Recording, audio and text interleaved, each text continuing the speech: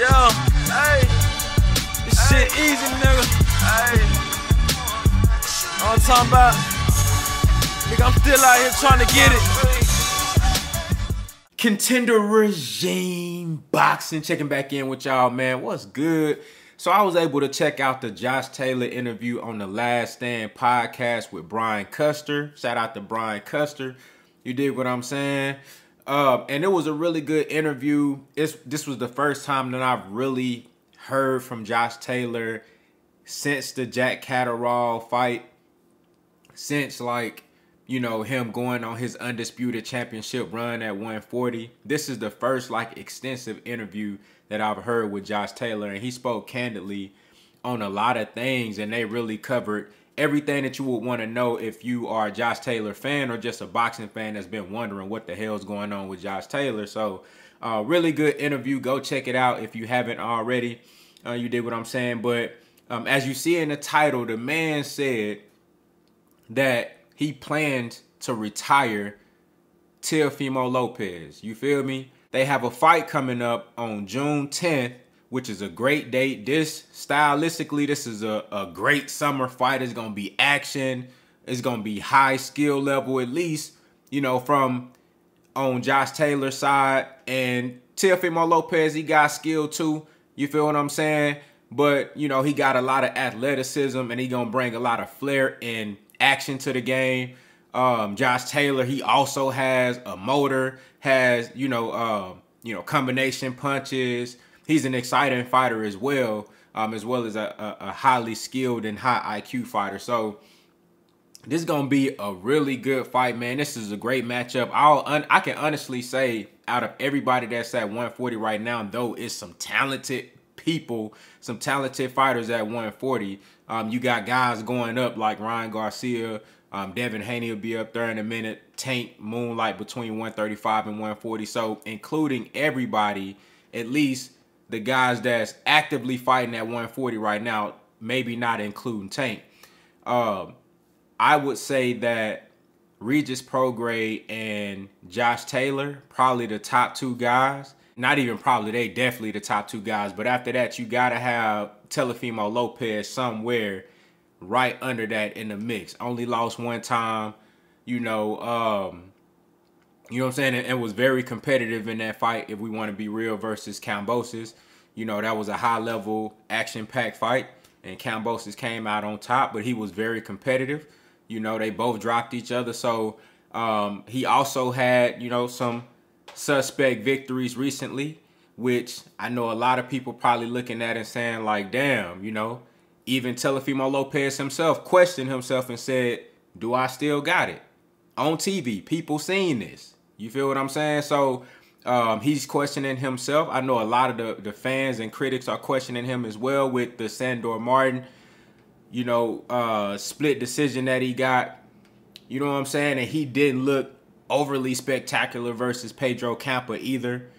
You feel me? So, um, Teofimo Lopez, even though he only got that one loss, he got a lot. He in a position where he got a lot to prove uh, but everybody know he is a fighter to be reckoned with. Like you're not finna just go in there and just get a victory. Like you got some hot shit coming back at you, which is what makes Teofimo Lopez one of those exciting fighters under Josh Taylor and Regis Prograis.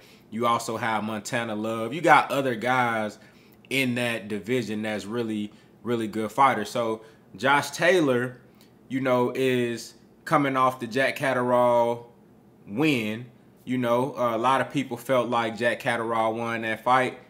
I, when I initially scored the fight, I had it either a draw or if I was gonna get an edge to anybody, it was gonna be the champion, Josh Taylor. You feel me? Because it was a, such a, a evenly competitive fight. Both guys had their moments, and I felt like Josh Taylor. You know, if you was gonna give anybody vic- anybody the victory, I would have gave it to Josh Taylor, but I would have called it a draw. However, he got the victory on paper. He said that, you know, some things that went on and uh, you know, as far as negotiations, the fight got pushed back a couple of times. Then he ended up catching an injury.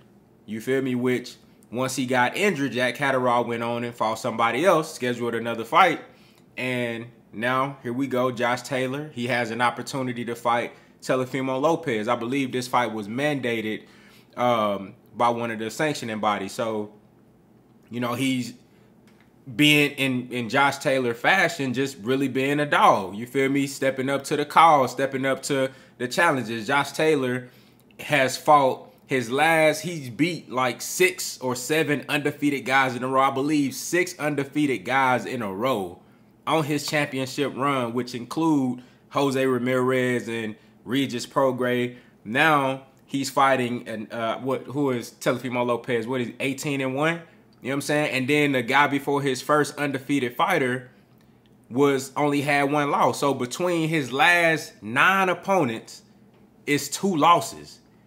Between his last nine opponents, mind you, Josh Taylor is undefeated. Between his last nine opponents, it's a total of two losses. That's incredible. So, you know, Josh Taylor is in a position where we know who he is and we know what he's accomplished, but he's still in a position where he got a lot to prove because of that Jack Catterall fight. Everybody feel like that was a suspect victory. People want people feel like Jack Catterall won a fight. And motherfuckers like, you can't go do nothing else until you spin a block and fight Jack Catterall. You feel me? But of course they couldn't make the fight happen. I don't think this is a bad fight for Josh Taylor. This is Teofimo Lopez, man, an exciting athletic fighter. A lot of y'all thought he was gonna be one of them guys. Once upon a time, I had a lot of people telling me Teofimo Lopez was that guy. Telling me he was gonna knock out everybody and just go crazy and just be a god. You feel me? But that ain't what happened. You know what I'm saying? But he's still a formidable opponent. So I think this is a, a must-win fight for both guys. Um, simply because it could take them, it could, for Josh Taylor, it can put away all doubt.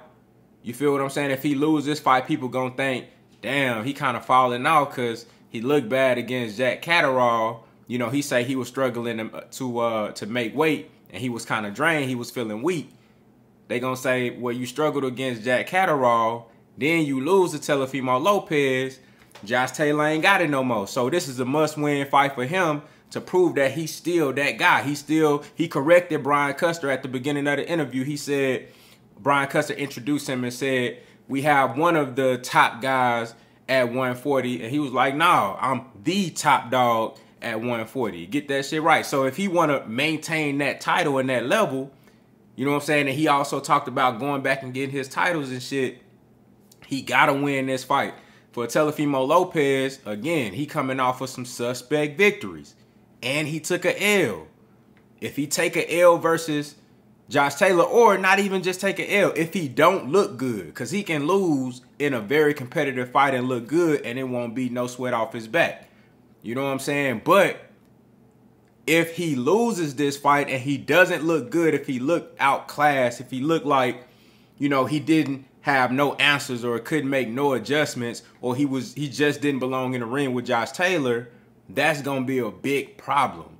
Must win fight, and I credit both guys for taking a fight like this because it let me know shit. They at this point where, bruh, they want to fight the best.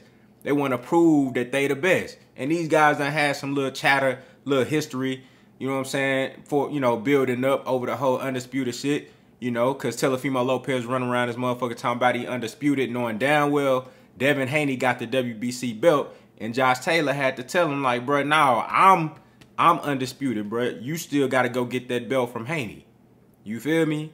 So they got history. Great fight, great matchup. Y'all let me know what y'all think down in the comments, man. What do y'all think about this matchup? What did y'all think about the interview if you saw it? Um, I'm a huge fan of Josh Taylor. I really think uh, this guy is a, a very skilled fighter, you know, and he got that edge to him, you know, so he ain't he not one of those guys that's gonna back down uh, back down from a fight when it get hot, when it come down to, you know, I gotta have this round in order for me to be the victor in the fight, or I need a knockdown in order for me to, you know what I'm saying, to be able to get in position to win. Like, I feel like Josh Taylor, one of those guys that's gonna go for the gusto. You feel what I'm saying? So, uh, overall balanced fighter who, you know, got decent defense. Um, you know, he's a a good outboxer, but a willing fighter though. You know what I'm saying?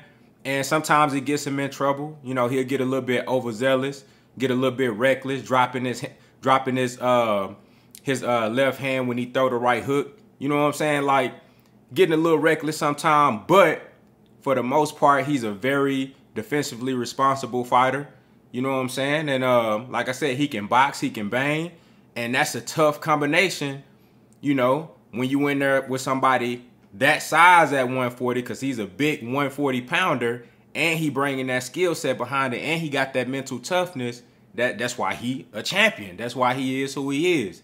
And a guy like Teofimo Lopez, who is questioning himself, that shows some level of weak mentality, which could not bode well when you fighting a guy like Josh Taylor. They look for those weaknesses and try to exploit that shit. You heard Regis Prograis said, I can see it in him.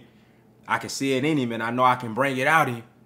You feel what I'm saying? So, y'all let me know what y'all think down in the comments, man. Contender regime boxing. I'll holla at y'all boys, man.